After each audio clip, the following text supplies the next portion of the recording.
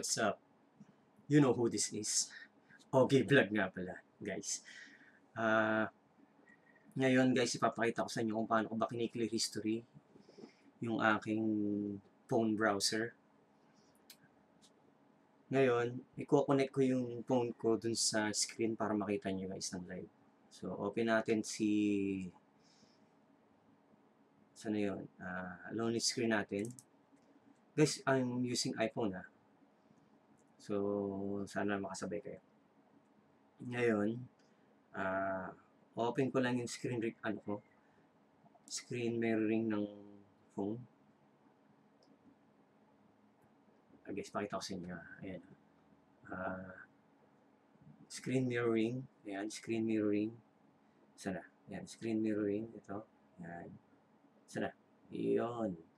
Click ko lang yan para mag-connect dun sa screen ng PC natin.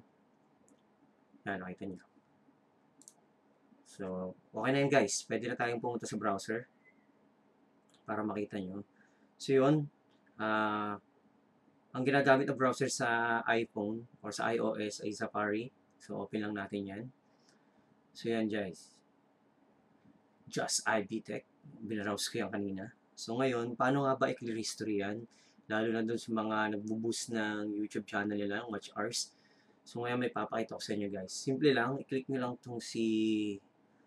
Yan, itong open book na to, yung logo. Click natin yan.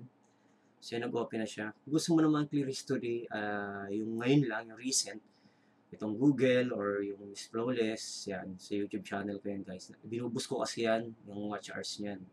So, para ma-clear history ko yan, pwede mo siyang swipe. Pungot na ng kaliwa. Yan. Tingnan niyo mabuti. Yan. Then, click delete. Click, okay.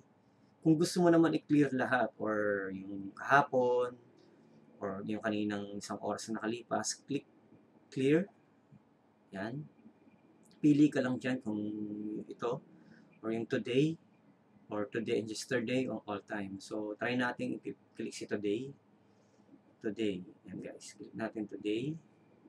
Clear na yan guys. Wala na yung ibang ano yan. history. Kung gusto mo i-clear all na, click mo clear all time. Click mo all time.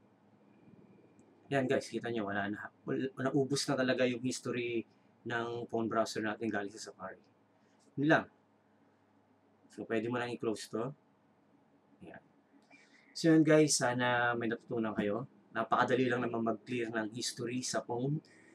So, yun guys, maraming salamat. Ah, kung may mga nagtatanong about regarding sa screen mirroring, sige, ah, gagawa ko yun ng tutorial today para maturuan ko din kayo. So, yun guys, maraming salamat and don't forget to subscribe.